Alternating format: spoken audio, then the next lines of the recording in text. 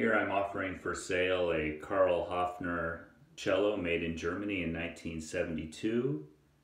Uh, I played on this in uh, high school orchestra at Redwood High School uh, circa 1980 and I've played about one or two hours since.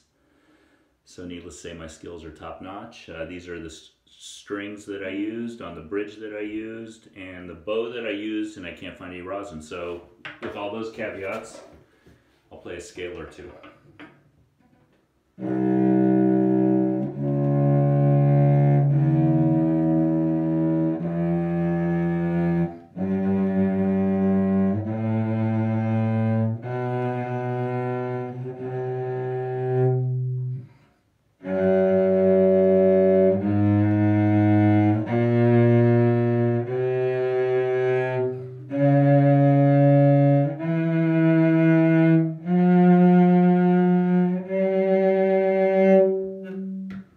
I'll quit while I'm ahead since at least a few of those notes were right.